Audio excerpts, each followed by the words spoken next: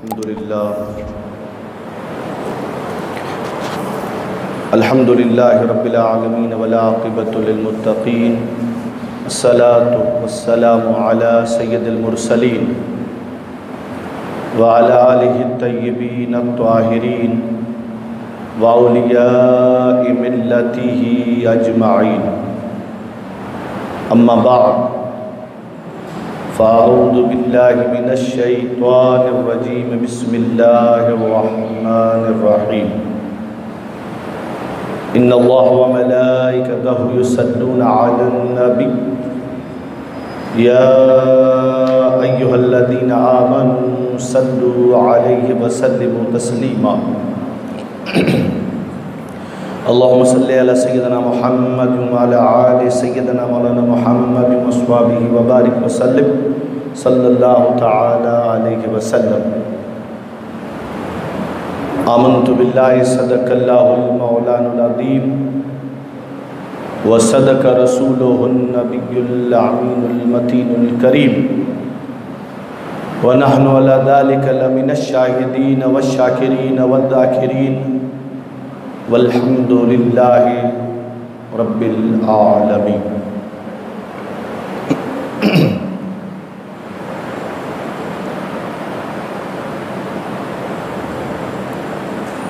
सद ताज़ीम एहतराम। बुज़ुर्गों, दोस्तों पर्दा नशीन ख़वातीन इस्लाम अलैकुम वरहमतुल्लाहि वबरकातुहू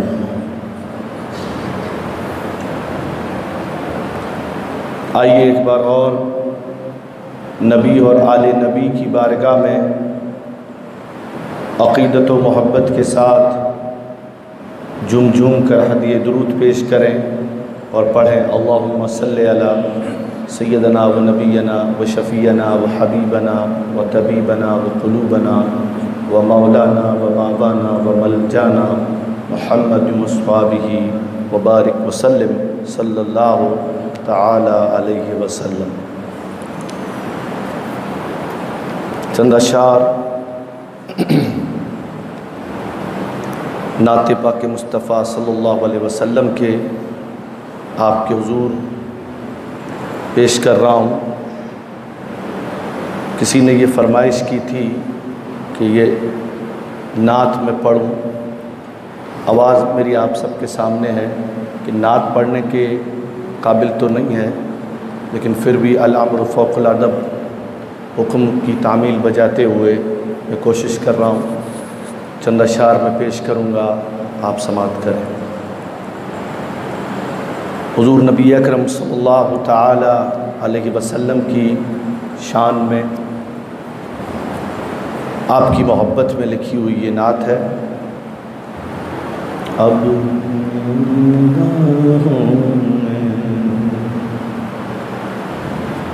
अब मेरी निगाहों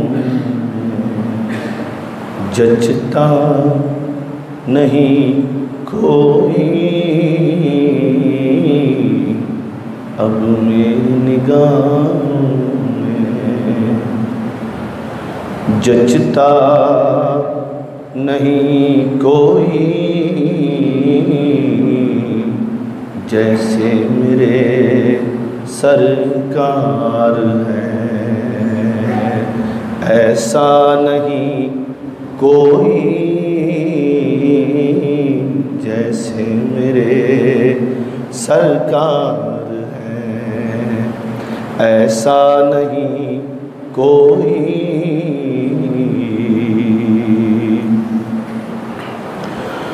तुम सा तो हँसी आँख ने देखा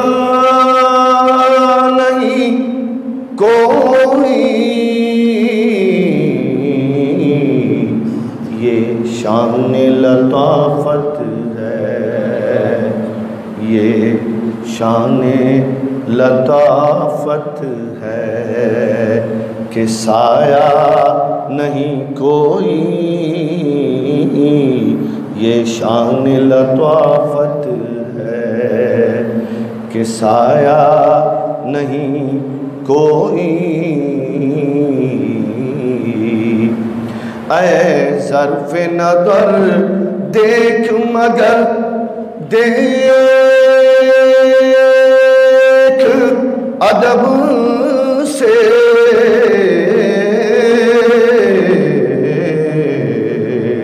सरकार का जलवा है, सरकार का जलवा है। तमाशा नहीं कोई, सरकार का जलवा है। तमाशा नहीं कोई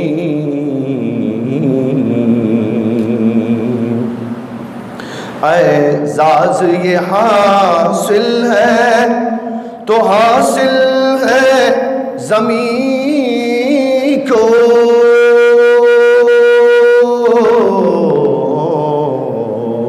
अफलाक पे तो गुंबद खदरा, अफलाक पे तो गुंबद खदरा नहीं कोई।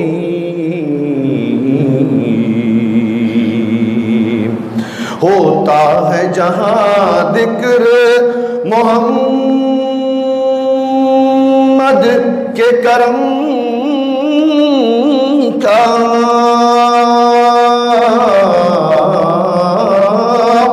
होता है जहाँ दिक्र मोहम्मद के करम का। उस बज़म में महरूम, उस बज़म में महरूम, तमन्ना नहीं कोई। उस बज़म में महरूम, तमन्ना नहीं कोई। सरकार की रहमत ने मगर खूब नवाजा। ये सच है कि खालिद, ये सच है कि खालिद सा निकम्मा नहीं कोई। अब मेरी निगाहों जचता नहीं कोई, जैसे मेरे सरकार हैं, ऐसा नहीं कोई। जूम के दरुद पाक पढ़े, अल्लाहुम्मा सल्ली अला सैयदना व नबीना व शफ़ीना व हबीबना व तबीबना व क़ुलूबना व मौलाना व मलजाना मुहम्मद व स्वाबिही व बारिक वसल्लम सल्लल्लाहु तआला अलैहि वसल्लम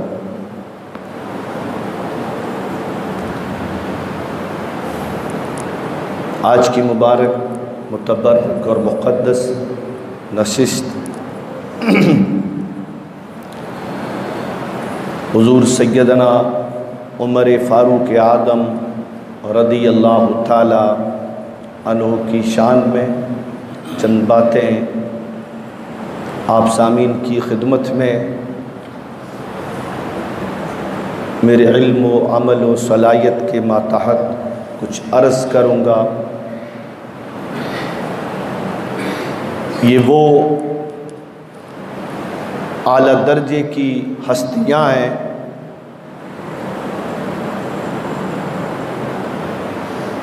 इनके रुतबे और इनके मकाम सूरज से भी बुलंदतर हैं। आसमान की बुलंदी से भी बुलंद है।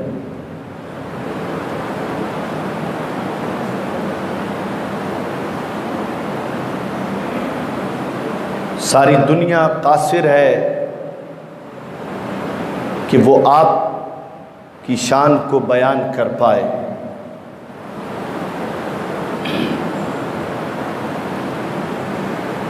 लेकिन इस उम्मीद से हर कोई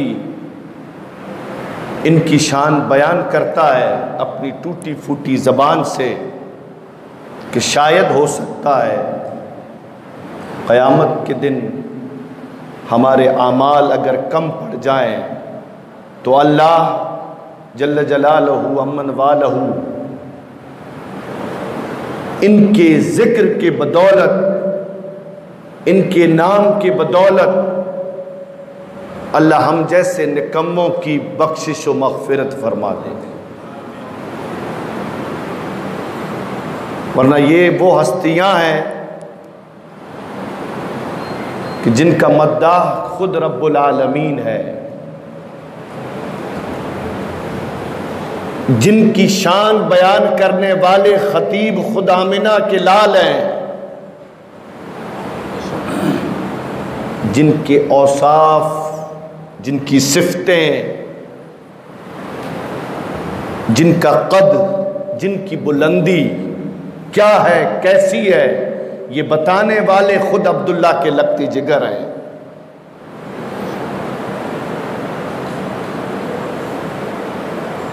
और अल्लाह की सबसे प्यारी किताब, कलाम मजीद, कुरान मजीद, जो बेमिसल मिसाल है, अल्लाह को सबसे ज़्यादा पसंदीदा किताब है, जिसका कोई जोड़ नहीं। अल्लाह ने खुद वादा किया है कि इसे कोई बदल नहीं सकता। सारी दुनिया आज तक कासिर है इसको समझने के लिए कि ये बोली किसकी है? ये है क्या? जिसमें इतने सारे खजाने और इतने सारे इल्म छुपे हुए हैं। तो कुर्बान जाएँ इन हस्तियों पर कि अल्लाह ने इनका ज़िक्र इस किताब कुरान मजीद में भी कर दिया। इनके मकाम इनके औसाफ, ये क्या हैं, ये कैसे हैं? इनका दिल कैसा है? इनकी तबीयतें कैसी हैं? इनका मिजाज कैसा है? इनकी सखावत कैसी है? इनकी शुजात कैसी है? इनका जीना कैसा है? इनका उठना, बैठना कैसा है? अल्लाह के खातिर अल्लाह ने इन सारी चीज़ों को कुरान मजीद में बयान किया। अब इससे बड़ी बात क्या हो सकती है? हमसे बड़ा अगर हमारा कोई नाम ले तो हम खुश हो जाते हैं। होते हैं नहीं भाई? हाँ? ये फितरत है ना, इंसानी फितरत है कि अगर कोई बड़ा आदमी हमसे बात करे तो अंदर ही अंदर हम खुश होते हैं। क्योंकि ये इंसानी फितरत है। तो उनकी बात करने वाला तो सबसे बड़ा है। हा? उनके बारे में कलाम करने वाला तो सबसे बड़ा है। जो रब है, खालिक है, परवरदिगार है, पालनहार है, पैदा करने वाला है। तो ये हस्तियाँ और ख़ास करके ये जमात, जिसका ज़िक्र मैंने गुज्त शब। आप सामीन की खिदमत में किया था कि सवाबा कराम रिदवान अजमाइन। ये सारी जमात जन्नती है कैद सुबहान अल्लाह कोई शक नहीं है इसमें। और कल मैंने आपको ये भी बताया था अकीदे के मातहत कि अहल सुन्नत वल जमात का ये अटल अकीदा है। कि जिसने अल्लाह के रसूल सल्लल्लाहु अलैहि वसल्लम को मोहब्बत की नज़र से भले चाहे एक बार भी देखा, एक बार भी देखा, वो सहाबी वो सहाबी बना। अब उस सहाबी की मोहब्बत हमारे ईमान का एक अहम हिस्सा है। तो कई बार हम अपनी कमिलमी नासमझी की वजह से ऐसी बहस में पड़ जाते हैं कभी कभी हम बैठे रहते हैं, हमें मालूम नहीं होता है तो हम अपनी बैठक में, अपनी मजलिस और महफिल में, जिसे यहाँ लोग बर्ज़ा कहते हैं, बर्ज़े पे जब जमा होते हैं, और बर्ज़ों पे फिर क्या क्या बातें होती हैं, वो तो आपको ही पता है, ठीक है? क्योंकि वो टाइम पास करना होता है। चार घंटे, तीन घंटे निकालने होते हैं। तो फिर उस बर्ज़े पे बैठ कर के हम बातें करते हैं। तो हमें एक चीज़ का ध्यान रखना चाहिए कि जितनी हमारी हैसियत है ना, उतनी हम बात करें। जितनी हमारी हद है, उस हद में रह के हम बात करें। हद से तजावज़ न करें। मामला कब बिगड़ता है? जब हम हदों को पार कर देते हैं। तब मामला बिगड़ जाते हैं। तो अपनी महफिलों में बैठकर अपने आप को आलिम समझकर, इल्म वाला समझकर और ऐसी बहसें करना। और मैंने अपने कानों से सुना है और आप भी इस चीज़ को बखूबी जानते हैं तो आपसे बर करम मेहरबानी। ये अल्तजा है कि आप या तो ऐसी महफिल में न जाएँ, या अगर ऐसी महफिल में जाते हैं तो ऐसे मौजू को तरक कर दें। सबाब कराम रिदवान तजमैन की शान में बहस करना। ये हमारी हैसियत नहीं है, न हमारी औकात है। कोई भी साहब सैदना हज़रत अबू बकर सिद्दीक रदी अल्लाह तु से लेकर आखिर तक जितने सहाबी होकर के गुज़रे हैं, सारे के सारे सहाबी हमारे लिए सर के ताज हैं और हमारे ईमान का एक अहम हिस्सा है। उनका इख्तलाफ, उनकी बातें, क्या हुआ, क्या नहीं हुआ, वो जाने, उनका मकाम जाने। हाँ? हम, हमें खुद को वज़ू का सही तरीका नहीं पता है। सालों बीत गए, गुसल में कितने फ़रज़ हैं वो नहीं पता है। और हम बैठ कर के सहाबा कराम के बारे में बात करें। हाँ? भाई, पहले ये तो सीख लें कि नमाज़ के अंदर कितने फ़रज़ हैं। नमाज़ कैसे टूटती है, ठीक है? नमाज़ के कितने वाजिबात हैं। पहले सही मुसलमान तो बन जाएँ, फिर हम ऐसी बातें करें। तो आपसे बर करम मेहरबानी, ये मेरी इल्तजा है कि ऐसी बातें हम न करें। और आजकल देखें, ये ये क़यामत की निशानियाँ हैं और कुछ नहीं है कि जैसे आज मोबाइल पे धड़ाधड़ धड़ाधड़ हदीसें आती हैं ना, हदीसें भी आती हैं, कुरान की आयत, फिर उसका तर्जुमा, फिर उसकी तफसीर, ठीक है? और आसानी से लोग हवाला भी देते हैं। मैं अब भी थोड़ी देर में आपको मैं चेक करके देता हूँ। भाई, तुम्हें क्या पता? आपको पता है कि दुश्मनान इस्लाम ने पाँच लाख से ज़्यादा अहदीसें मन गढ़त इंटरनेट पर डाल दी हैं। मन गढ़त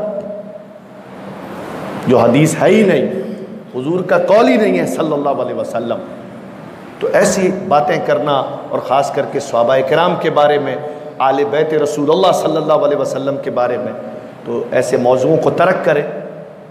और और हर सहाबी की इज़्ज़त, हर सहाबी का अदब। हर सहाबी की तादीम और हर सहाबी की मोहब्बत, उनसे इश्क और उनसे जुड़ा हुआ ताल्लुक, ये हमारे ईमान को मज़बूत करता है और हमेशा ज़िंदा रखता है। और क़यामत के दिन हमारे अमाल तो हमारे सामने ही हैं, कैसे हैं? हमें पता है कि हम नमाज़ें कैसी पढ़ते हैं, नहीं पता है? हाँ? हमारे रोज़े कैसे हैं? ठीक है, हम हज पर भी जा कर के हम क्या करते हैं, वो भी हमें पता है। ठीक है, हम ज़क़़त भी कैसी देते हैं, वो भी हमें पता है माशाल्लाह, मैं सबकी बात नहीं कर रहा, ठीक है, कहीं ना कहीं कहीं ना कहीं, खुद का मफाद तो शामिल होता ही है। ज़क़़त देने के बावजूद भी हम किस चीज़ के कायल होते हैं, कि लोगों के दरमियान हमारा नाम हो, लोगों के दरमियान हमारा चर्चा हो, ठीक है, हज पे जाने के बाद भी हम किस चीज़ के कायल होते हैं माशा कि जब मैं हज से वापस आऊँ तो मेरे नाम के साथ हाजी जुड़ा हुआ हो। लोग मुझे हाजी कह करके पुकार तो अमाल तो हमारे ऐसे हैं, ठीक है? नमाज़ हम कैसी पढ़ते हैं? तो ये सारी चीज़ें हैं।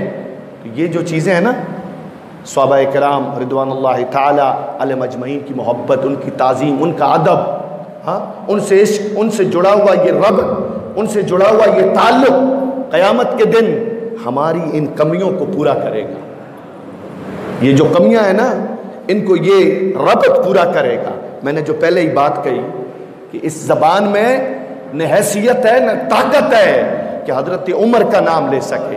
हाँ? लेकिन फिर भी उम्मीद ये करते हैं कि खुदा क़यामत के दिन इनके नाम के सदक़े और तवसल से हमारी बख्शिश फरमा दे। और ये महफिलें हम सजाते भी इसलिए हैं, वरना किसी की ज़बान में इतनी क़वत तो ताकत नहीं है कि वो इमाम आली मकाम रदी अल्लाह तु का नाम ले सके।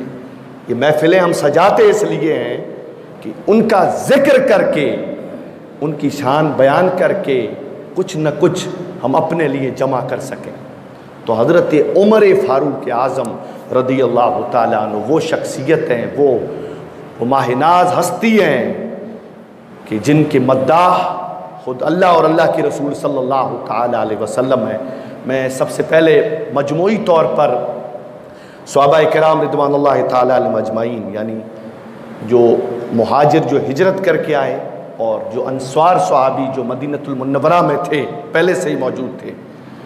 इनके बारे में अल्लाह रब्ज़त जल जलाल वालहू ने अपने प्यारे कलाम कुरान मजीद में इनकी किस तरह से तारीफ़ की है और किस तरह से अल्लाह ने इनके औसाफ को बयान किया है, पहली आयत में पेश कर रहा हूँ, जिसे समात करें।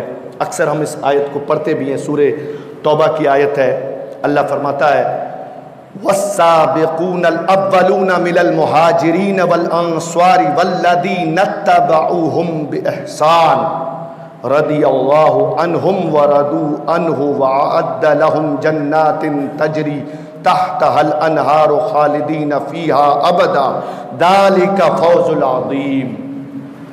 क्या फरमाते अल्लाह?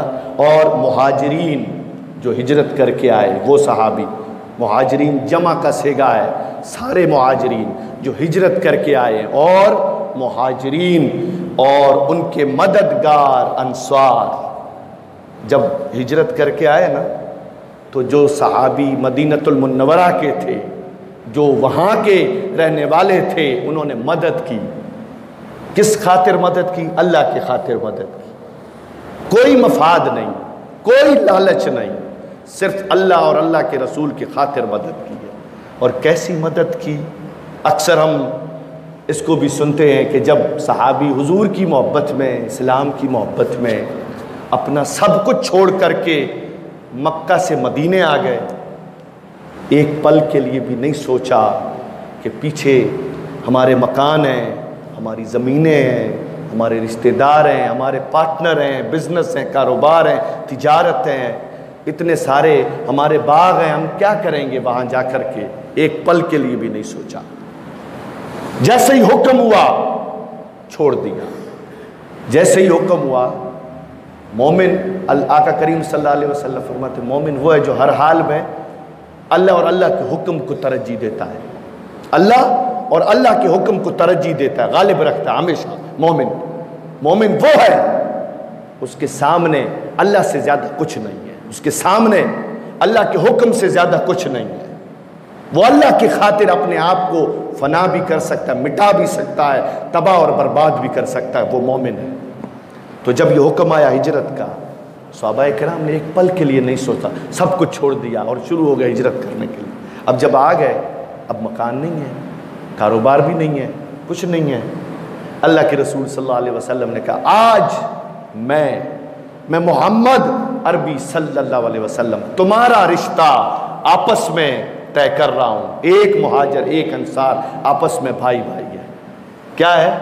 भाई भाई है, आपस क्या? अब जब हुजूर ने ये रिश्ता बना दिया भाई भाई का तो बात ख़त्म हो जाती है। अब अनसवार सुहाबी ने दिल खोल के मदद करना शुरू कर कैसी मदद? सैदना हज़रत अब्दुलरमान बिन औफ रदी अल्लाह तु जिनका नाम नामी इसमें ग्रामी हम सुनते हैं ना हाँ? आज तो थोड़ा बहुत पैसा आ जाए, हम फूले नहीं समाते। हाँ? हमारी चाल बदल जाती है, अकड़ आ जाती है, तेवर बदल जाती है। देखने का नज़रिया बदल जाता है। थोड़ा पैसा आ जाए। हज़रत अब्दुलरमान बिन औफ रदी अल्लाह उस वक्त। अल्लाह ने इनको कितनी दौलत से नवाजा था, आपको पता है? आज की तारीख में भी, अरब में हम तो छोड़, दूसरे मुसलमान तो छोड़े। अरब सबसे ज़्यादा अमीर है ना मुसलमानों? अरब के अंदर आज भी इतनी दौलत किसी के पास नहीं है जितनी दौलत हज़रत अब्दुलरमान बिन औफ के पास थी। हज़रत अब्दुलरमान बिन औफ के पास इतनी दौलत थी। तो जब आप आप भी मुहाजिर थे, सब कुछ छोड़ के आए थे, कुछ नहीं था। अंसार साहबी जिसका भाई बनाया गया, हाथ पकड़ के कहता अब्दुलरमान बिन औफ, आप मेरे भाई हैं। और हुजूर ने ये रिश्ता कायम किया है, सगे भाई से बढ़कर है। अब जब भाई बने तो सीधी सीधी बात है, अब जो मेरा है, वो आपका है। अब बंटवारा, मीरास, ये दो मकान हैं, आप हाथ रखें, आप हाथ रखें, आपको कौन सा चाहिए? अभी आपके नाम कर देता इतनी ज़मीनें हैं, इन ज़मीनों में से आप नज़र रखें, कौन सी ज़मीनें आपको चाहिए? आपके नाम कर देता हूँ। इतने जानवर, इतनी रोकड़। मोहब्बत देखें। फिर कहते हैं अब्दुलरमान बिन औफ, मेरी दो बीवियाँ हैं। कितनी? दो बीवियाँ हैं। आप जिसको पसंद करें, मैं उसे तलाक दूँगा। वो इद्दत गुजारेगी। इद्दत गुजारने के बाद वो आपसे निकाह कर सकती वो भी तो उस वक्त के अब्दुलरमान बिन औफ थे ना? कहते, मेरे भाई अंसार, अल्लाह तुझे माल में बरकत दे। अल्लाह तेरी ज़मीनों में बरकत दे, तेरी तिजारत में बरकत दे। मुझे कुछ नहीं चाहिए। तू मेरा भाई है, हमेशा रहेगा। बस एहसान इतना कर दे कि मुझे मदीनतुल मुनवरा में जहाँ तिजारत होती है ना, जिस बाज़ार में उसका रास्ता बता दे। सिर्फ़ उसका रास्ता बता दे मुझे। वो दिन था जब आप निकले तो अल्लाह के रसूल सल्लल्लाहु अलैहि वसल्लम ने तो पहले ही कहा है कि जब नीयत में इखलास हो जब नीयत सच्ची होती है, जब दिल हसद और बुख से पाक होते हैं, और दिल, दिलों में जब मोहब्बतों की खुशबुआं होती हैं, अल्लाह उनका मददगार होता है, अल्लाह उनका मुहाफिज होता है। फिर उनकी बरकतें अल्लाह की तरफ़ से उतरती हैं, उनकी हमदर्दियाँ, उनकी मदद डायरेक्ट अल्लाह की तरफ़ से आती है। वही अब्दुलरमान बिन औफ। उस दिन मदीनतुल मुन्नवरा के बाज़ार का रास्ता पूछा था। एक वक्त ये आता है कि आपकी चार बीवियाँ होती हैं। कितनी? चार बीवियाँ। और मीरास में सबसे कम हिस्सा बीवी का है, आठवां हिस्सा। आठवां हिस्सा है। चार बीवियों के हक में उस वक्त हज़रत अब्दरबान बिन औफ रदी अल्लाह तु ने सात या आठ आठ लाख दिरम एक एक बीवी के हिस्से में आए थे उस वक्त। ये हज़रत अब्दरबान बिन औफ रदी अल्लाह तो ये ये मोहब्बतें हैं जो अल्लाह के खातिर थी। तो आका करीम सल्लल्लाहु अलैहि वसल्लम ने भाई भाई बनाया। तो ये महाजिर और ये अंसार तो अल्लाह ने इनका ज़िक्र किया है। और महाजरीन और उनके मदद अंसवार में से सबकत ले जाने वाले, यानी आपस में नेकियाँ करके बढ़ने वाले, सबकत ले जाने वाले, सबसे पहले ईमान लाने वाले। अब इनमें जो सबसे पहले ईमान लाए, वो और दर्ज एहसान के साथ उनकी पैरवी करने वाले। अल्लाह उनसे राज़ी हो गया और वो सब के सब अल्लाह से राज़ी हो गए। जुमले पे ध्यान दें बार बार सुनते हैं, अल्लाह उनसे राज़ी हो गया, ये तो बात समझ में आती है। अल्लाह कहता है, ये मुझसे भी राज़ी हो गए। ये कितना भारी जुमला है। हाँ आज हम अमल क्यों करते हैं? अल्लाह राज़ी हो। सही है? नमाजें क्यों पढ़ते हैं? अल्लाह राज़ी हो। रोज़े क्यों रखते हैं? अल्लाह राज़ी हो। मस्जिद बनाने वाला मस्जिद क्यों बनाता है? अल्लाह राज़ी हो। मदारिस की मदद क्यों करते हैं? अल्लाह राज़ी हो। यतीम खानों, मिसकीनों की मदद क्यों करते हैं? अल्लाह राज़ी हो। सारे नेक काम हम इसलिए करते हैं, अल्लाह राज़ी हो। लेकिन ये वो जमात है जिनके बारे में अल्लाह कहता है, मैं इनसे राज़ी हो गया, ये मुझसे राज़ी हो गया। ये मुझसे राज़ी हो गया। अब अंदाज़ा लगाएँ, कैसे अमाल होंगे इनके? कैसी नेकियाँ होंगी इनकी? कैसा दिल होगा इनका? कैसी अल्लाह के साथ मोहब्बत होगी इनकी कि अल्लाह ने ये कह दिया कि ये मुझसे राज़ी हो गए। आगे सुने, अल्लाह फरमाता है, मुझसे राज़ी हो गए और उसने उनके लिए जन्नतें तैयार फरमा रखी हैं, जिनके नीचे नहरें हैं और वो उनमें हमेशा हमेशा रहने वाले हैं और यही ज़बरदस्त कामयाबी है इनके लिए। अब इसमें तो अल्लाह ने इनको जन्नती बना दिया। अब अगर कोई दो सखी बनाए, इससे फ़र्क क्या पड़ता है? हा? अब अगर कोई कहे अस्तफ़िर सुम्मा अस्तफ़िर के फ़ला साहबी ऐसा वैसा तो वो ख़ुद खड्डा अपना तैयार कर रहा है, उनको कोई फ़र्क नहीं पड़ने वाला। सही है?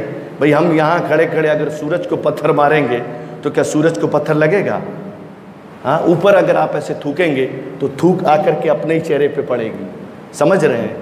तो इनकी इनकी जो हस्तियाँ हैं ना, सूरज से भी बालातर है। इनकी जो शौकत है, इनका जो रुतबा है और इनका जो मकाम है, आज भी सूरज चाँद सितारे उनको सलाम करते हैं। ठीक है? तो जब जन्नती अल्लाह ने इनको बना दिया है और अल्लाह ने इनको ये मुद्दा सुना दिया कि हमेशा हमेशा ये मुहाजिर और अंसार जन्नत में रहने वाले हैं और ये इनकी ज़बरदस्त कामयाबी है। अब सहाबा कराम रिदवान मजमाइन की जितनी भी जमात है, इनमें जो उल अज़म सहाबी है, जो सबसे बुलंद सहाबी है तो वो चार हैं। खलफ़ राशिदीन जिसे हम कहते हैं, हज़रत अबू बकर सिद्दीक, हज़रत उमर फ़ारूक आज़म, हज़रत उस्मान गनी हज़रत अली रदी अल्लाह तजमाइन ये चार साहबी हैं, ठीक है? सहाबियत के मकाम में सब यकसा हैं कि उन्होंने हजूर को देखा है। अब दर्जा ब दर्जा अल्लाह ने इनको जिन जिस रुतबे से नवाजा है और जिस जिस फजीलत से नवाजा है, ये इनका इनका मकाम है। तो कल मैंने आप सामीन की खिदमत में चंद अहादीसें चंद वाक़ात और चंद बातें हज़रत अबू बकर सिद्दीक रदी अल्लाह तु की शान में रखी थी। आज हज़रत उमर फ़ारूक आज़म रदी अल्लाह तु के बारे में सुने। इससे पहले एक और कुरान मजीद की आयत सुन लें। बड़ी मशहूर आयत है सूर फतह की आयत है। अक्सर जिसे तिलावत भी करते हैं और पढ़ते भी हैं। अल्लाह फरमाता है मोहम्मदुररसूल वल्लदीना माहू अशिद्दाकुफ़ार बड़ी मशहूर आयत है, अल्लाह फरमाता है, मोहम्मद सल्लल्लाहु अलैहि वसल्लम अल्लाह के रसूल हैं। कौन कहता है? अल्लाह खुद कह रहा मोहम्मद, अल्लाह के रसूल हैं। और जो लोग आप सल्लल्लाहु अलैहि वसल्लम की मैत और संगत में हैं, यानी जो आपके साथ साथ हैं, आपकी सोबत और माहौल में हैं, वो काफिरों पे बड़े सख्त हैं। वो काफिरों के ऊपर क्या है? बड़े ही सख्त हैं और ज़ोरावर हैं और आपस में बड़े ही रहम दिल हैं, बड़े ही नरम हैं, आजजी और इनकसारी इख्तियार करने वाले हैं।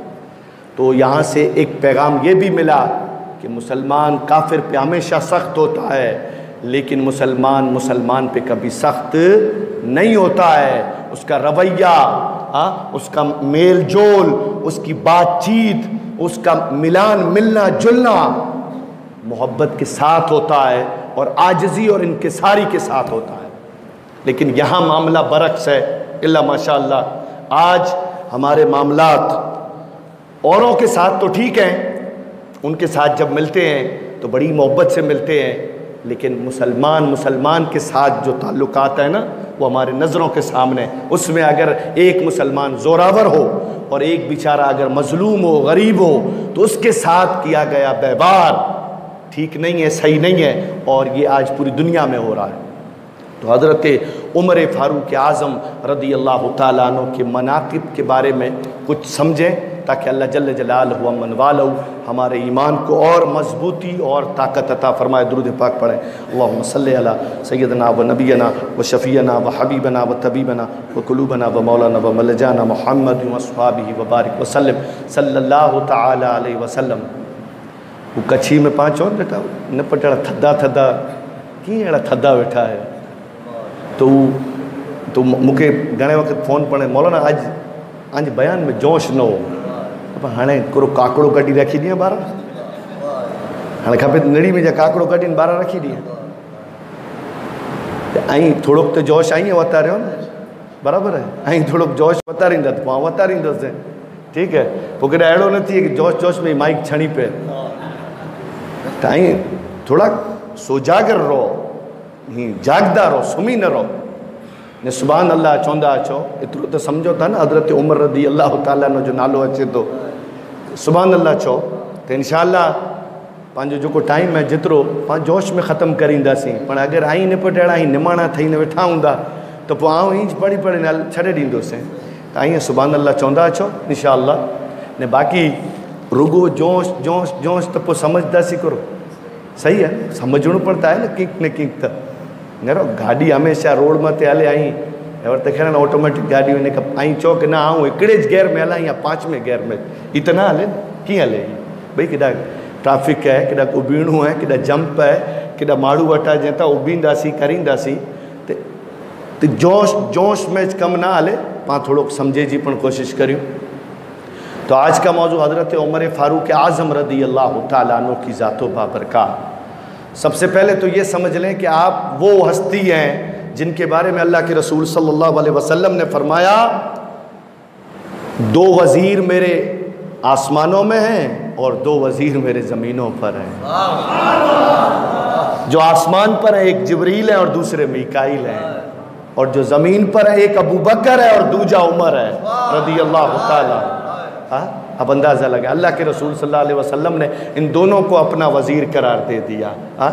एक जगह पर आका करीम सल्लल्लाहु अलैहि वसल्लम ने फरमाया, आप तीनों साथ में थे। पहाड़ था, पहाड़ के ऊपर आप खड़े थे।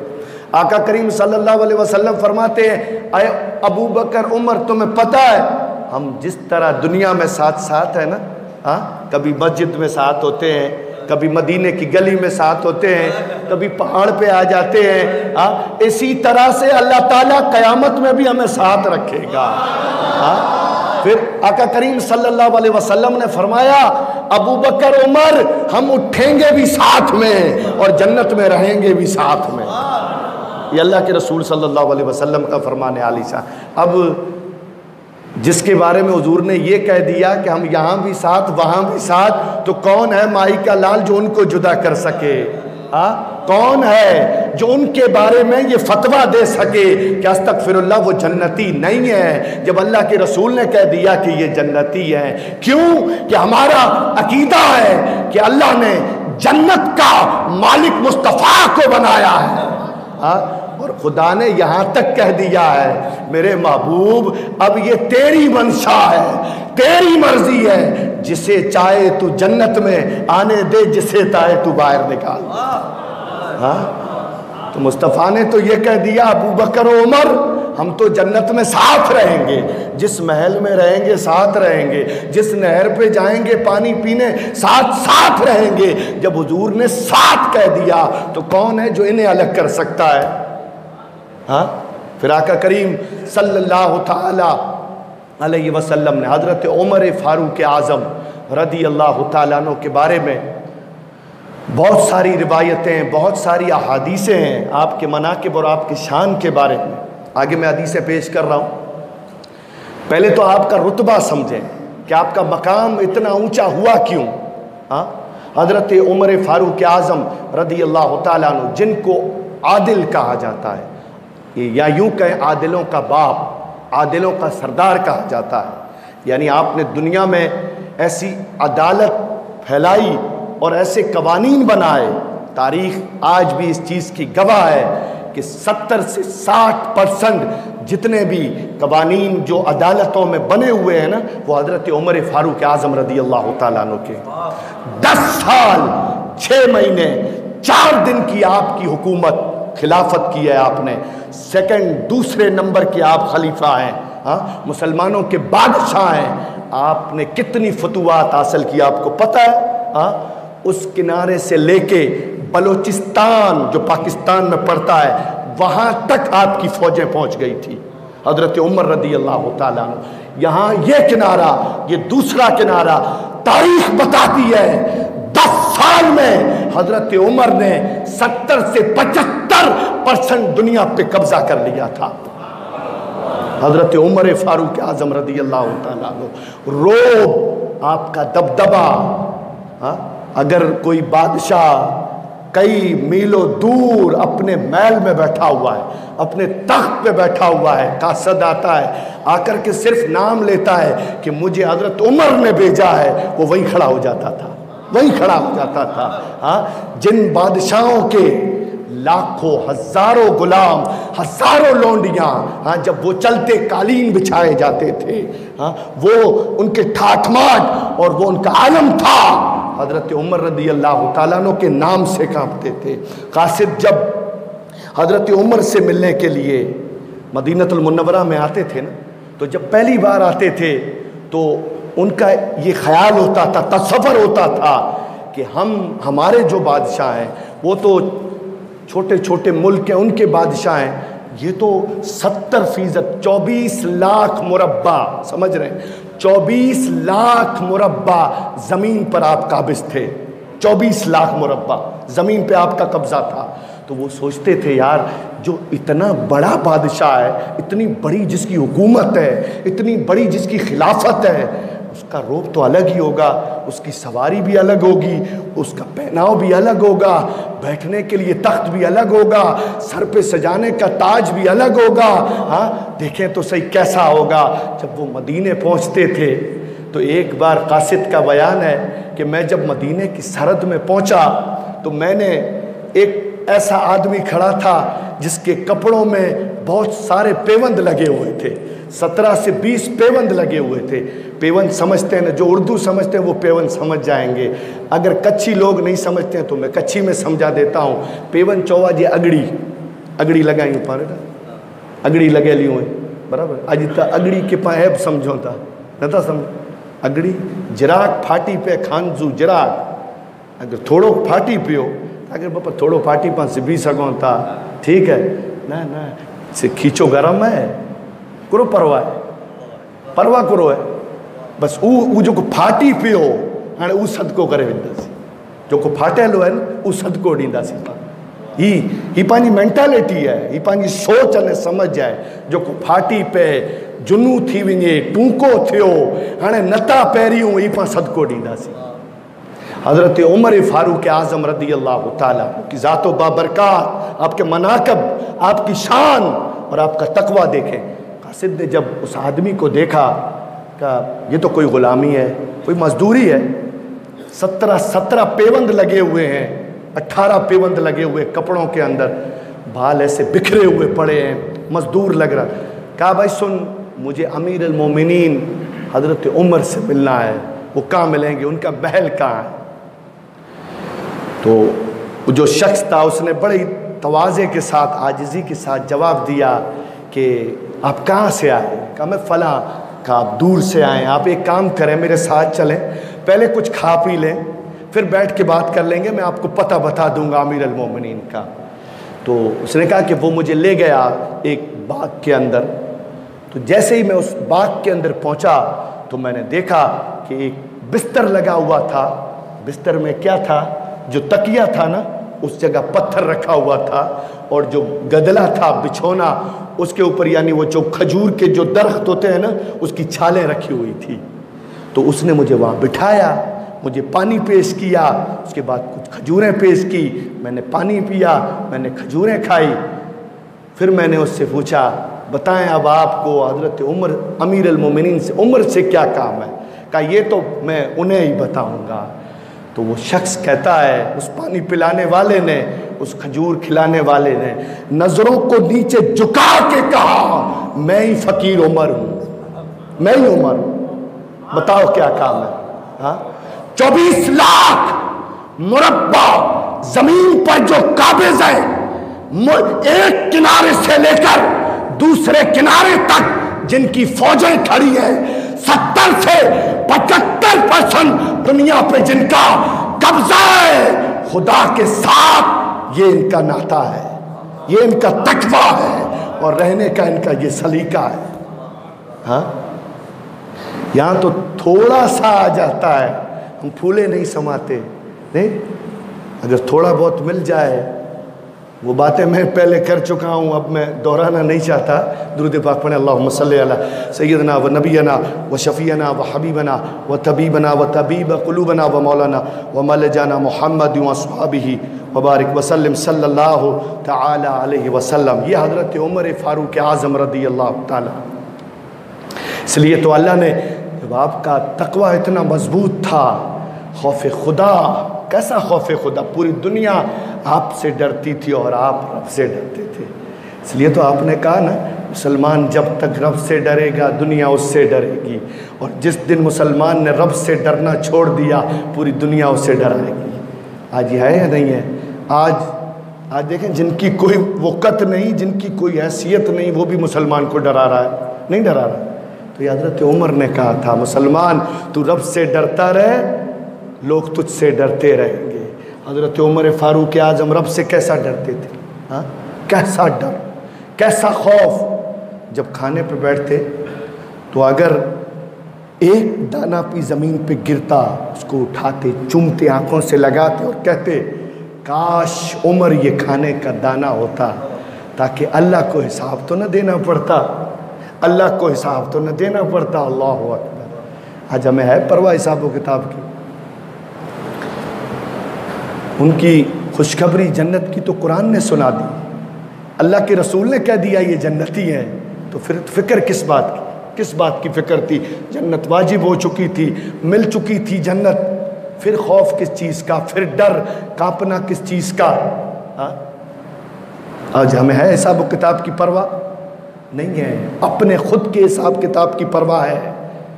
लेकिन जिसके लिए हम आए हैं, उस हिसाब किताब की हमें परवाह नहीं है। सैदना अब्दुल्ला बिन अब्बास रदी अल्लाह ताला मशहूर किस्सा है, छोटा सा। और हज़रत उमर रदी अल्लाह ताला दोनों का बड़ा ही गहरा याराना था, गहरा दोस्ताना था। जैसे गहरे दोस्त होते हैं तो वो गहरी बातें भी करते हैं, राज की बातें भी करते हैं। तो हज़रत अब्बास और उमर के बीच में दोस्ती थी। तो बातों बातों में एक बार ये बात चली, यार जो दुनिया से हमसे पहले जाएगा ना हम में से, वो अपना हाल ज़रूर हमें ख्वाब में आके बताएगा। ख्वाब में आकर के अपना हाल ज़रूर बताएगा। कहा, ठीक है। हज़रत अब्बास फरमाते हैं कि हज़रत उमर मुझसे पहले गए दुनिया से। एक साल बीत गया, वो ख्वाब में नहीं आए। एक साल बीत गया, वो ख्वाब में नहीं आए। एक साल गुजरने के बाद हज़रत उमर, हज़रत अब्बास के ख्वाब में आते हैं। हज़रत अब्बास कहते हैं, मैंने उमर से पूछा, बड़ी देर कर दी आते आते। तो हज़रत उमर ने जवाब दिया, क्या करूँ? क्या करूँ? मामला बड़ा सख्त था। मामला बड़ा सख्त था। साहब किताब बड़े सख्त थे अब्बास, लेकिन आखिर में अल्लाह ने मुझ पर करम कर दिया, मुझ पर रहम कर दिया। अल्लाह जब उनका मामला सख्त हो सकता है तो हम अपने गिरबान में जान कर तो देखें, हम क्या हैं? हाँ? हसद में डूबे हुए, कीने में डूबे हुए, बुक्स में डूबे हुए, अनाकारी में डूबे हुए तकबर में डूबे हुए हाँ? ऐसा कौन सा गुनाह है जो हम नहीं करते? इल्ला माशाल्लाह, मैं सबकी बात नहीं कर रहा। जिना, शराब, जुआ, फरेब, धोखाबाजी, हक खाना, हक दबाना, यतीमों का माल खा जाना, लोगों पे जुल्म करना हाँ? कौन सा ऐसा गुनाह है जो हमसे सरजद नहीं होता है? और इससे भी बड़ी बात यह है और अफसोस की बात यह है कि गुनाह करने के बाद हमें उसके ऊपर शर्म भी नहीं है। ये बड़ी बात है, अफसोस की बात। ये आका करीम सल्लल्लाहु अलैहि वसल्लम ने फरमाया, गुनाह से भी बड़ा गुनाह ये है कि बंदा गुनाह करने के बाद उसके ऊपर शर्मसार ना हो। ये बड़ा गुनाह। हम एक गुनाह करने के बाद दूसरे गुनाह की प्लानिंग करते हैं। प्लानिंग करते हैं। हज़रत उमर ने फरमाया, अब्बास, हिसाब बड़ा सख्त था, अल्लाह ने रहम कर दिया। ये हज़रत उमर की ज़ात बाबरकत है। जब इतना खौफ और इतना तकवा था तो फिर अल्लाह ने आपको ताकत से भी नवाजा कि आपकी हुकूमत ज़मीन पर भी थी, आग पर भी थी और पानी पर भी थी। थी ना? ये जो दरिया नील है जो मिस्र में बहता है, दरिया नील। शायद यही है जो विक्टोरिया है, यही है जो यहाँ से एक कोना इसका इधर है और दूसरा इसको ही दरिया नील कहते हैं शायद। ये दरिया नील, इसकी एक खासियत ये थी कि हर साल, एक साल या दो साल में ये खुश्क होता था। पानी इसका ख़त्म होता और जब एक कवारी लड़की सजा दजा कर दुल्हन बनाकर उसे सौंप दी जाती तब जाके फिर इसके अंदर पानी आता था। जब हज़रत उमर की खिलाफत आई, आपके जो गवर्नर थे मिस्र में दरिया नील खुश्क हुआ, लोगों ने ये तजवीज़ दी कि इस तरह की एक लड़की तैयार करनी पड़ेगी और उसे ज़िंदा दरगोर करना पड़ेगा। तो उस गवर्नर ने ख़त लिखा हज़रत उमर को। हज़रत उमर रदी अल्लाह तु के पास जब ये ख़त पहुँचा, हज़रत उमर ने दरिया नील को ख़त लिखा। किसको? दरिया नील को हज़रत उमर ने ख़त लिखा। बिस्मिल्लाहिर्रहमानिर्रहीम। शुरू करता हूँ अल्लाह के नाम से ए दरिया नील। और फिर लिखते हैं, मैं उमर मैं उमर, अल्लाह का खादिम। मैं उमर, मुस्तफ़ा का खादिम। मैं उमर, इस उम्मत का खादिम। आका करीम सल्लल्लाहु अलैहि वसल्लम के नाते हज़रत उमर लिखते हैं। फिर लिखते हैं ए दरिया नील, अगर तू अल्लाह के हुक्म से बहता है तो बहना शुरू हो जा। बहना शुरू हो जा। अगर तू अल्लाह के हुक्म के अलावा किसी और के हुक्म से बहता है तो हमें तेरी कोई ज़रूरत नहीं है। तारीख नील आज भी गवाह है। चौदह सौ साल पहले का खत हज़रत उमर ने लिखा था, दरिया नील ऐसा बहा कि आज तक बहता है। कभी नहीं सूखा। ये हज़रत उमर फारूक आज़म रदी अल्लाह आप मस्जिद नबी में बैठे, एक आग लगी, ज़बरदस्त आग। लोग दौड़े दौड़े हज़रत उमर के पास आए कि, हजूर वाला अब इस वक्त तो फायर ब्रिगेड रहा है उस वक्त तो कुछ था नहीं भाई आग को बुझाया जाए। ठीक है? हज़रत उमर रदी अल्लाह तुमने अपना पहरान जुब्बा उतार के दिया, जो ऊपर पहना था। कहा, ले जाओ, जहाँ आग है ना, उसके आगे आगे मेरा जुब्बा मारना। हज़रत उमर का जुब्बा जो ही ले गए, वो जहाँ आग थी, उसके आगे आगे मारते जाते थे, आग पीछे हटती जाती थी। आग पीछे हटती जाती थी, जलजला। अभी जलजला हमने देखा। हाँ वो झटका आया था ना, जलजले का।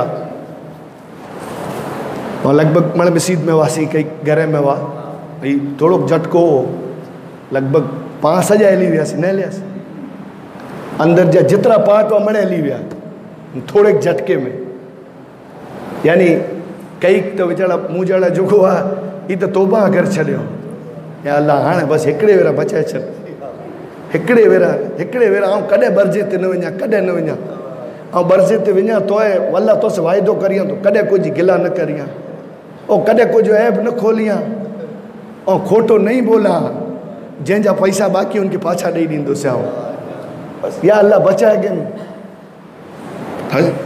मणे ॿाहिरि निकिरियासीं ॿ टे कलाक मणे ॿाहिरि फिरियासीं वरी ॾिसो हेॾा बिल्डिंग आहे त वरी उनखे न परे हटो ख़ाली जॻह खुली जॻह मथे उभी खुली जॻह मथे खुला? एतिरे लाइ करे कि पामे अल्लाह जो ख़ौफ़ ना है। अगर पामे अल्लाह जो ख़ौफ़ हो न तो कोई जलजलो पाके दिरजाए न सघियो ये तो आका करीम सल्लल्लाहु अलैहि वसल्लम ने फरमाया, मोमिन जो अल्लाह से डरता है, वो किसी से नहीं डरता है। जो अल्लाह से डरता है उसे कोई तूफ़ान नहीं डरा सकता। उसे कोई जलजला नहीं डरा सकता, जो अल्लाह से डरता। हज़रत उमर फारूक आज़म रदी अल्लाह तु के ज़माने में भी ऐसे जलजले आए, ज़मीन ली, आपने ज़मीन को ठोकर मारी है ऐसे अपने मुबारक पाँव से ठोकर मारी, कहा, थम जा क्या उमर ने तुझ पे इंसाफ नहीं किया है? अदल नहीं किया? थम जा जलजले को आपने ठोकर से थमाया है। हज़रत उमर फारूक आज़म रदी अल्लाह तो वो उमर है कि जिनकी ताकत हवा पर, पानी पर और आग पर भी है। अब आए अहादी से करीमा के ज़रिए दो चार अहादी से आप सामीन की खिदमत में पेश कर रहा हूँ। समात कर ले, दुरुद पाक पढ़े अल्लाह मसल सैदना व नबीना व शफ़ीना व हबीबना व तबीबना व मौलाना व मलजाना मोहम्मद वसवाबी वबारक वसलम वो हदीस पेश कर रहा हूँ जो हज़रत अली रदी अल्लाह तनो का मौक़फ़ और आपका गुमान और आपकी मोहब्बत हज़रत उमर के साथ कैसी थी, वो सुने। हज़रत अब्दुल्ला बिन अब्बास रदी अल्लाह तुमा बयान करते हैं कि जब हज़रत उमर बिन ख़त्ताब का जनाजा तख्त पर रखा गया तो लोग उनके गिर्द जमा हो गए। आजू बाजू वो उनके हक में दुआ करते, तहसीन आमीस, आमेस कलिमात कहते, और जनाजा उठाए जाने से पहले उन पर स्वला यानी दुआ पढ़ रहे थे। मैं भी उन लोगों में शामिल था। अचानक एक शख्स ने पीछे से मेरे कंधे पर हाथ रखा। मैंने घबरा कर मुड़ के देखा तो वो हज़रत अली थे। कौन थे? वो हज़रत अली थे। उन्होंने हज़रत उमर रदी अल्लाह तु के लिए रहमत की दुआ की।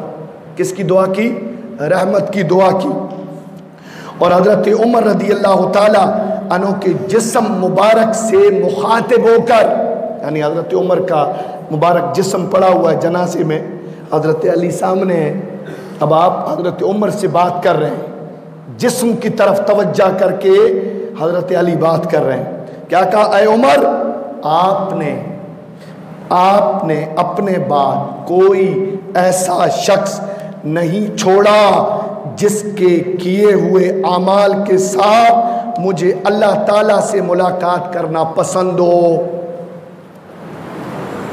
यानी अब ऐसा कोई नहीं है कि जिसके अमाल को मैं देखूँ और पसंद करूँ कि इसके अमाल के ज़रिए मैं अल्लाह से मुलाकात करूँगा। आप आखिरी थे। बखुदा मुझे यकीन है कि अल्लाह ताला आपके दर्जा और आपके दोनों रफ़ीकों, यानी हुजूर नबी अकरम सल्लल्लाहु अलैहि वसल्लम और हज़रत अबू बकर के साथ कर देगा।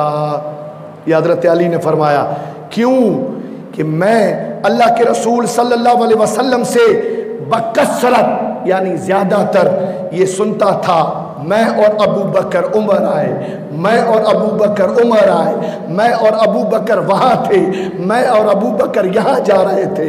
अल्लाह के रसूल सल्लल्लाहु अलैहि वसल्लम ऐसा फरमाते थे, और मुझे यकीन है कि अल्लाह ताला आपको इसी तरह आपके दोनों रफ़ीकों के साथ रखेगा। ये किसने कहा है? हज़रत अली रदी अल्लाह तु अगली हदीस। अन उमर रदी अल्लाह तन्नहु नबी सल्लल्लाहु अलैहि वसल्लम फिल उमरती फ़काल अय्यो आखी अशरिकना फ़ी दुआइका वला तनसना रवा तिरमिदी हज़रत उमर रदी अल्लाह तु से रिवायत है उन्होंने अल्लाह के रसूल सल्लल्लाहु अलैहि वसल्लम से उम्र अदा करने की इजाज़त मांगी क्या करने की उम्र अदा करने की आप सल्लल्लाहु अलैहि वसल्लम ने मुस्कुरा के उन्हें फरमाया, मेरे भाई, मुझे भी और हम सबको अपनी दुआओं में याद रखना। आका करीम सल्लल्लाहु अलैहि वसल्लम फरमा रहे अब वो हदीस करीमा, जिसे हम अक्सर समात करते हैं, कि आका करीम सल्लल्लाहु अलैहि वसल्लम ने फरमाया, मुझ पर नबूवत का दरवाज़ा बंद हो चुका है। मेरे बात कोई नबी नहीं है, लेकिन अगर मेरे बा, अगर मेरे बाद कोई नबी आता तो वो उम्र की ज़ात होती। ज़ोर से कहते हैं सुबह अल्लाह वो उम्र की ज़ात होती, कितनी बड़ी बात है। हाँ? हज़रत उकबा बिन आमिर बयान करते हैं, अल्लाह के रसूल सल्लल्लाहु अलैहि वसल्लम ने फरमाया, अगर मेरे बाद कोई नबी होता तो वो उमर बिन खत्ताब होते। ये अल्लाह के रसूल सल्लल्लाहु अलैहि वसल्लम का फरमान आली शान है। और एक रिवायत में हज़रत अबू सईद खुदरी रदी अल्लाह तु से मरवी है। अल्लाह के रसूल सल्लल्लाहु अलैहि वसल्लम ने फरमाया, अगर अल्लाह ताला मेरे बाद किसी को नबी बनाकर भेजने वाला होता तो यकीनन उमर बिन खत्ताब को नबी बनाकर भेजता। ये अल्लाह के रसूल सल्लल्लाहु अलैहि वसल्लम के फरमानात हैं। हज़रत अबू हुरैरा रदी अल्लाह तु बयान करते अल्लाह के रसूल सल्लल्लाहु अलैहि वसल्लम ने फरमाया, सबका उम्मतों में बाज़ लोग ऐसे भी होते थे जो नबूवत जैसी बातें करते थे, जैसी बातें नबी करते थे ना। उस तरस की, उस अंदाज की बातें वो किया करते थे। अगर ऐसा कोई मेरी उम्मत में है तो वो उम्र की ज़ात है। आका करीम सल्लल्लाहु अलैहि वसल्लम के फरमाने वाली शान है। अब वो हदीस कि अल्लाह के रसूल सल्लल्लाहु अलैहि वसल्लम ने हज़रत उम्र को जन्नत की बशारत दी है। बखूबी ध्यान से सुने। जो लोग अस्तफ़िरल्ला सुम्मा अस्तफ़िरल्ला हज़रत उमर रदी अल्लाह तहों को जहन्नमी कहते अस्तफ़िरल्ला और आपके ऊपर सुम्मा अस्तफ़िरल्ला लान तान करते हैं। हाँ? आका करीम सल्लल्लाहु अलैहि वसल्लम ने हज़रत उमर को जन्नत की बशारत दी है। जिस तरह से कल मैंने कहा कि हज़रत अबू बकर सिद्दीक को अल्लाह के रसूल सल्लल्लाहु अलैहि वसल्लम ने जन्नत की बशारत दी, इसी तरह हज़रत उमर को भी हजूर ने जन्नत की बशारत दी है। कैसे? हज़रत अबू हुरैरा रदी अल्लाह तु बयान करते हैं कि हम हजूर नबी अकरम सल्लल्लाहु अलैहि वसल्लम की खिदमत में हाजिर थे। आप सल्लल्लाहु अलैहि वसल्लम ने फरमाया, मैं सोया हुआ था कि मैंने ख़ुद को जन्नत में पाया। कह दो सुबह अल्लाह मैं सोया हुआ था और मैंने अपने आप को कहाँ पाया? जन्नत में पाया। वहाँ मैंने एक महल के कोने में एक औरत को वज़ू करते हुए देखा। एक महल था। उसके कोने में एक पानी का नल था। उसके ऊपर एक औरत वज़ू कर रही थी, मैंने देखा। मैंने पूछा, ये महल किसका है? मुझे जवाब मिला, ये फारूक आज़म का महल है। किसका महल है? ये फारूक आज़म का महल है। हाँ हम तो अहले सुन्नत वल जमात वाले हैं। हमें तो ये अकीदा है कि अगर कोई मोतबर शख्सियत हाँ जो अल्लाह वाला हो, जो परहेजगार हो, जो मुतकी हो, जो खालिश हो, जिनका दिल नेक हो, जो ईमान परस्त हो, जो आदिल हो, जो कभी भी बेईमानी न करता हो, ऐसा शख्स अगर हमारे बारे में कोई ख्वाब देखे, हमारे बारे में अगर कोई बात करे तो हम तो उसे भी सच्चा समझते हैं, क्योंकि वो सच्चा है। यहाँ तो सच्चों के सच्चे नबी मुस्तफ़ा ने ख्वाब देखा है। हाँ इमामों के इमाम आमीना के लाल ने ख्वाब देखा और ख्वाब में महल देखा, महल में औरत को देखा, औरत से पूछा, महल किसका? जवाब मिला, महल उमर फारूक आज़म का है। हाँ यानी हुजूर ने उम्मत को इससे खबरदार कर दिया कि उमर उमर रदी अल्लाह अनहो के बारे में जन्नत बरहक है बरहक है बरहक है, इतनी बरक है, इतनी बरक है कि मैंने जन्नत में उनका महल भी देख लिया है। हाँ भाई, अभी कोई दुबई जाए, दुबई में जाकर के अपना मकान बुक करवा दे, मकान बुक करवा दे तो इससे बात ये साबित होती है कि अब तो ये दुबई रह सकता है, क्योंकि उसका वहाँ मकान है। उसने अपना मकान ले लिया है। मुस्तफ़ा ने कहा, उमर तुझ पर जन्नत इतनी वाजिब है कि खुदा ने तेरा महल भी तैयार कर दिया है। महल भी तैयार कर दिया है। हज़रत मैं अंदर जाने का इरादा किया सुबहान अल्लाह जब मुझे पता चला कि ये महल उमर का है, मेरे यार का है, मेरे दोस्त का है, मैंने इरादा किया, मैं अंदर जाऊँ बस मुझे उमर फारूक आज़म की गैरत याद आ गई कि उनसे पहले मैं कैसे इनके मकान में चला जाऊँ? इनसे पहले मैं कैसे इनके महल में चला जाऊँ? इसलिए मैं वापस लौट के आ गया। बस हज़रत उमर ये सुन के रोने लगे। या रसूल अल्लाह अर्ज़ करने लगे, क्या मैं आप पर भी गैरत कर सकता हूँ? हाँ मेरी जान, मेरा माल, हर चीज़ आपका है और आपके इख्तियार में है। खुदा, अगर उमर को बार बार ज़िंदगी दे मैं बार बार उस ज़िंदगी को आप पर कुर्बान कर दूँगा। माल को, जान को, औलाद को, मता को, जमीनों को, सबको आप पर निछावर कर दूँगा। ये हज़रत उमर रदी अल्लाह तरुद पाक पढ़े अल्लाह सैदना व नबीना व शफ़ीना व हबीबना व तबीबना व तबीब कुलूबना व मौलाना व मल जाना मोहम्मद स्वाबी वबारक वसलम सबसे बड़ी खासियत एक तो ये कि कोई नबी नहीं, आता तो वो उमर होते। और ख़ासियत हज़रत अब्दुल्ला बिन उमर, कई सारे आयमा कई सारे सुहाबियों ने इस रिवायत को नकल किया।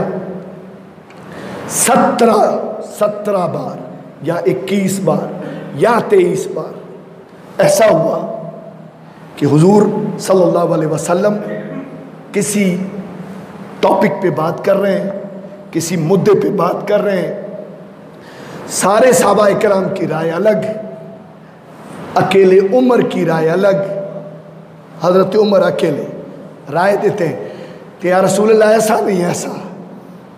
ऐसा नहीं ऐसा अल्लाह को हज़रत उमर की राह पसंद आती। ऐसी सत्रह कुरान की आयतें हैं जो हज़रत उमर के राय के मुताबिक उतरी है। ये औरतों पे जो पर्दा है ना आज, पर्दे का हुक्म है, ये हज़रत उमर की राय थी। इससे पहले पर्दा नहीं था। हज़रत उमर ने हजूर से कहा, या रसूल अल्लाह सल्लल्लाहु अलैहि वसल्लम ये चीज़ मुझे अच्छी नहीं लगती। उम्मातल मोमिनीन, सारी उम्मत की माएँ। मैं ये सोचता हूँ, पर्दा होना चाहिए औरत पर। अल्लाह ने पर्दे की आयत उतार दी। है? तो ऐसी सत्रह आयतें हैं कि हज़रत उमर ने कही, अल्लाह ने आयत बनाकर कुरान में उतार दी। अल्लाह ताला मुझे और आप सबको इस पर अमल करने की तोफ़ी को रफ़ीक बख्शे। अल्लाह ताला हम सबको हज़रत उमर से बेपना और बे इंतहा मोहब्बत करने की तोफ़ी को रफ़ीक बख्शे। वमाल आखिर दवाना अलहमदिल्ला रबालम अल्लाम